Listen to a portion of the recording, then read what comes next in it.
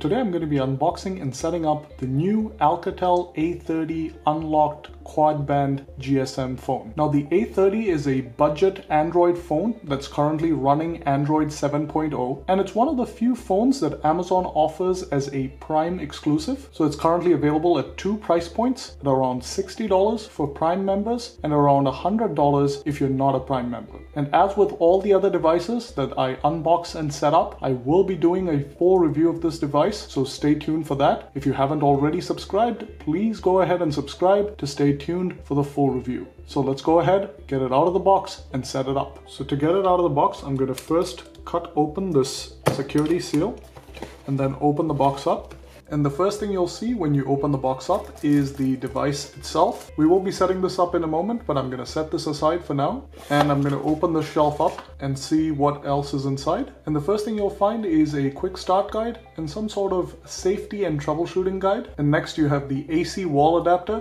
to charge the device. And last but not least, you have the USB to micro USB charge cable to charge and connect the device. And now it's time to set the phone itself up. So let's take it out of this plastic cover and peel off this cover that covers the screen. And there you go, you have the device itself with its large 5 inch HD display and this textured back. And as I said, I will be doing a full review, so I'll look at how it performs in that full review. But let's go ahead and set it up now. And the first step to doing this is to power on the phone by pressing down on the power button on the side. So that's what I'm going to do. I'm going to press down on the power button to power it on. And there you go, it's booting up. And the first step after that is to select your language. I'm going to select English United States and hit get started and then it asks me to insert the SIM card. Now you can do this now or you can do this later. I'm actually going to show you how to insert the SIM card into this phone. And the first step to inserting the SIM card is to peel open the rear cover and in order to do this there's this little notch on the side and you're going to pull the cover off by pulling on the cover on the edges and then gently peel off the cover along the edges till the cover comes off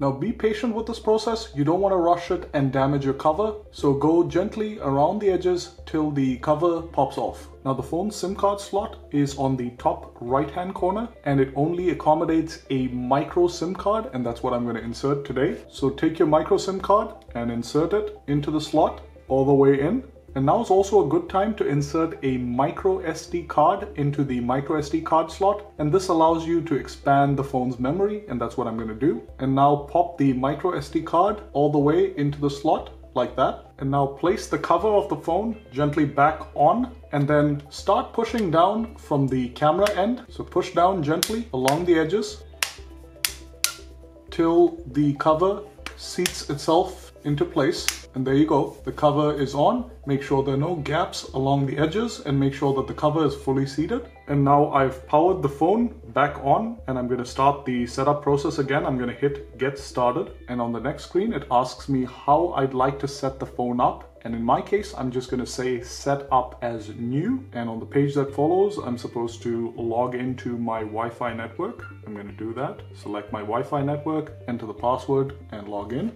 Okay, so I've done that and I'm going to hit connect and it's now connecting to the Wi-Fi network. And now it says it's checking the network and adding a few finishing touches. So let's wait for that to finish. And now it's checking for software updates. And on the page that follows, it asks me to sign into my Google account. Now this is the same email and password you would use for your Gmail email. You can of course skip this if you'd like, but to use most of the Google apps and other Android features, it's recommended that you sign in. So that's what I'm going to do. I'm going to sign in and the screen that follows asks me if I accept their terms and conditions. I'm going to hit accept. And on the screen that follows, it wants to know if I'd like to turn on some of Google's services. For example, it asks me if I'd like to automatically back up device data. I'm not going to do this. I'm going to unselect that. It asks me if I'd like to use Google's location service. I'm going to leave that checked and on. And then it asks me if I'd like to improve the location accuracy using Wi-Fi. I'm going to leave that on as well. And finally, it asks me if I'd like to help improve the Android experience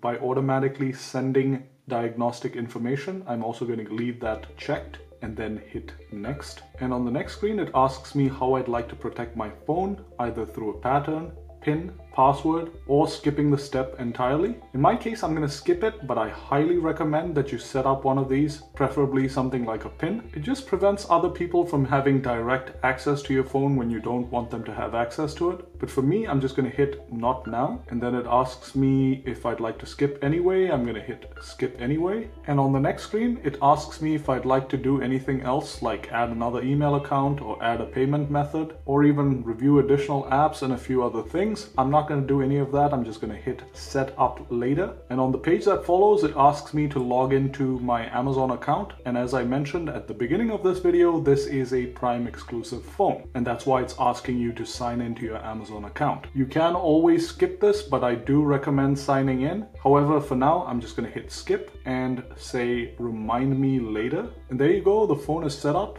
and now ready to use. And if you're looking to buy this phone, I'll leave a link to the phone in the description below this video. And as I mentioned at the beginning of the video, I will be doing a full review of the Alcatel A30. So if you haven't already subscribed, please subscribe to stay tuned for that full review. And if you found this video useful, please give us a big thumbs up and subscribe to stay tuned for more reviews, unboxings, and how-to videos. Thanks for watching, and I'll see you on the next one.